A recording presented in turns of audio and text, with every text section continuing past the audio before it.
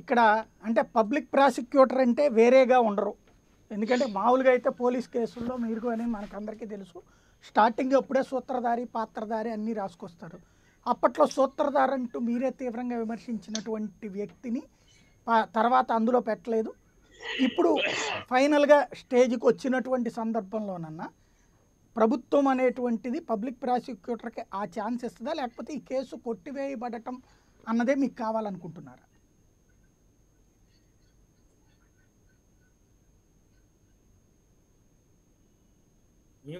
న్యాయ వ్యవస్థలో. సాయి గారు see it is go according to the jurisdiction and due courts of law. అందులో government పాత్ర ఉంటుంది ఇప్పుడు జీపీ గారు ఉండని పబ్లిక్ ప్రాసిక్యూటర్ ఉండని if it is in high court or else if it's in trial court.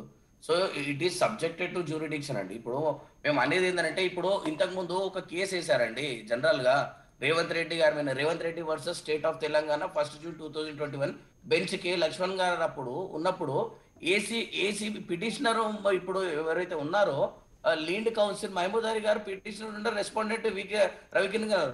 అందులో క్లీన్ ఇంతకు ముందు అడ్వకేట్ గారు చెప్పినట్టు ఏదైతుందో పీపుల్ రిప్రజెంటేషన్ ఫైల్ ఏదైతే కేసు చేశారో three ninety seven and four zero one code of criminal procedure nineteen seventy three CPC దాన్ని సెటసైజ్ చేశారనమాట చేసిన తర్వాత ఇప్పుడు వాళ్ళు శిక్ష దాని కింద ఇవ్వద్దు ఎందుకంటే ఆయన ఎక్స్ అఫీషియో ఉన్నాడు.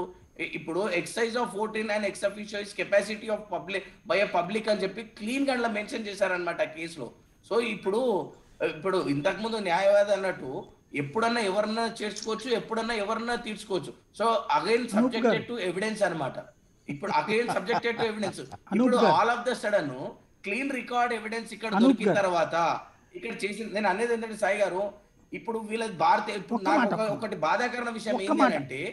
అంటే అమాయకత్వంతో కూడిన ప్రశ్న. అమాయకత్వంతో కూడిన ప్రశ్న దయచేసి అర్థం చేసుకుని ఒక సమాధానం చెప్పండి. నా. అమాయకత్వాన్ని మన్నించి ఓ ప్రశ్నకి సమాధానం చెప్పండి అనూప్ గారు. ఇప్పుడు మనకు. సాధారణంగా మాకందరికి మేము చిన్నప్పటి నుంచి తెలుసుకున్నది ఏంటంటే ఎవరినన్నా కొడితే లేదా ఏదన్నా పగలగొడితే క్రైము దాని చుట్టూ పోలీస్ స్టేషన్ చుట్టూ తిరుగుతారని తెలుసు. కానీ పాపం అదేందో హోంశాఖ చూసేటువంటి డిప్యూటీ ముఖ్యమంత్రి మీదకే దాడి చేస్తే ఎలక్షన్స్ టైంలో కేసేం లేదు అది ఎవరు కొట్టారో తెలుసు ఓపెన్గా. వీడియో కూడా ఉంది. రెండవది ఇక్కడ కూడా మీరు చెప్పినటువంటిదే స్వయంగా ముఖ్యమంత్రి గారంటే మా అందరికీ చాలా గౌరవం. ఎందుకంటే ఆయన అందరి చేత ఎన్నికయ్యారని. ఆయనే చెప్పారు ఈ కేసులో సోన్ సో పర్సన్స్ ఉన్నారు వదిలిపెట్టబోము అని. మేము నమ్మాం. అట్లాగే నయీం కేసులో కూడా. ఆస్తులన్నీ జనాలకు ఇచ్చేస్తామన్నారు. నమ్మాం. అట్లాంటి నమ్మినప్పుడు ఆ విధమైనటువంటి నమ్మకాన్ని ఆచరణలో పెట్టాలి అంటే అవన్నీ మెన్షన్ కావాలి కదా. కొంతమందికి మనకు కావాలన్నప్పుడు వదిలేస్తున్నాం అవసరం లేనప్పుడేమో చూస్తున్నాం. అలాంటిది కరెక్ట్ అవుతుందా? జెన్యూనిటీ అవుతుందా? సాయి గారు ఇప్పుడు నేను కూడా మీకు అదే చెప్తున్నా సాయి గారు. ఇప్పుడు ఆరు వేల కోట్లు ఏదైతే సుజనా చౌదరిది ఉన్నదో అసలు విషయం మాట్లాడకుండా పట్టించే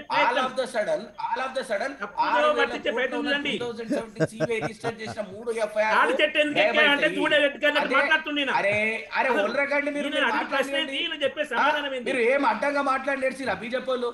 ఆ, నిన్ను అడిగిన ప్రశ్న ఏంటి? నువ్వు చెప్తున్న సమాధానం ఏంటి? టర్న్ ఓవర్ వెయ్యి కోట్లు వెయ్యి కోట్లు సీఎం రమేష్. ఇప్పుడు అనూప్ గారిని చెప్పనీయండి. చెప్పనీయండి చెప్పనీయండి. చెప్పనీయండి చెప్పనీయండి అనూప్ గారిని చెప్పనీయండి. మనం విషయం తెలుసుకుందాం. చెప్పనీయండి. రామరెడ్డి గారు ఆయన మాట్లాడండి. అనూప్ గారు చెప్పండి చెప్పండి.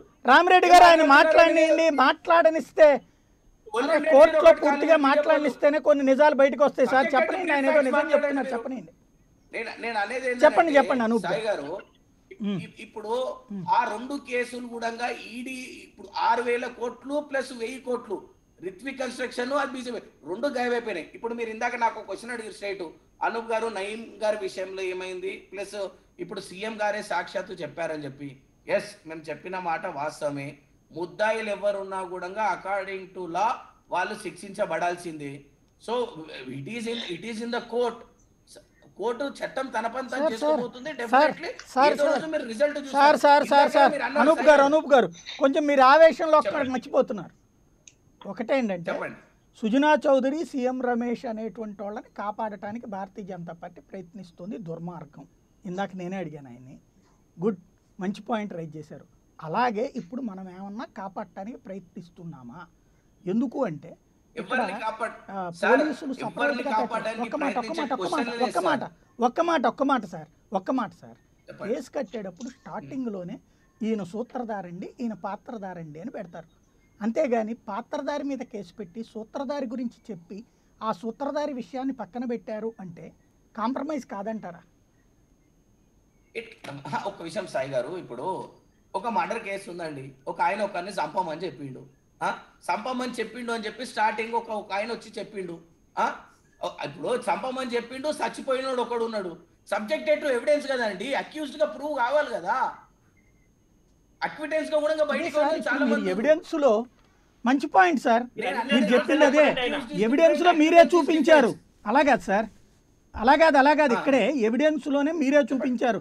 ముప్పై సార్లు బాబు గారితో మాట్లాడారు మాట్లాడిచ్చారు అని ఆడియోలు కూడా వినిపించారు. మీరు మా అందరికి ఇచ్చారు కూడా. చాలా చక్కటి మేము ఆడియో. మళ్ళీ సౌండ్ డిస్టర్బెన్స్ decide రాకుండా చేయాల్సింది ఎవరు కాబట్టి అక్కడ ఎవిడెన్స్ కూడా ఉంది కదా సార్.